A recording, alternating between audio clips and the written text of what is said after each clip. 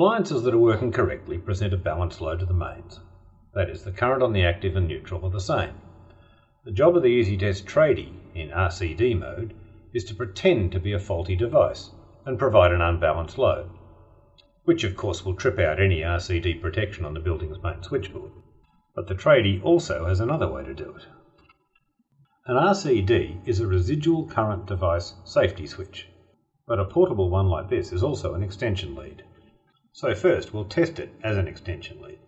Plug it into the tradie and we'll use the IEC lead to complete the circuit. Switch it on and instantly the Easy Test tradie performs all the tests for leads simultaneously. Test results show that it appears to fail, but then we don't have a circuit yet, so reset the RCD and complete the circuit. The lights indicate that the polarity is correct.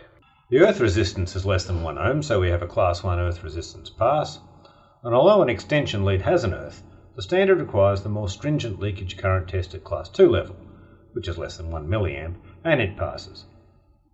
And now for the safety switch. Press the self-test button and everything should go off. Okay, so that works. Now it's time to reset and let the EasyTest tradie put that unbalanced load on and measure the switch times.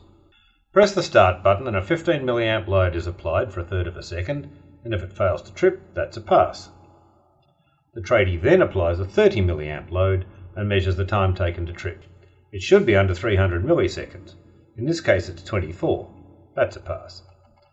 Reset the RCD and perform the test again. And while there's no legal requirement to reverse the phase angle, it's industry best practice to do so.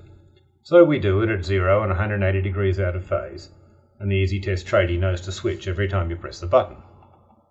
You'll need to record both of those switch times to keep the auditors happy. It really is that easy. Switch it off, unplug the lead and tag it. We're finished.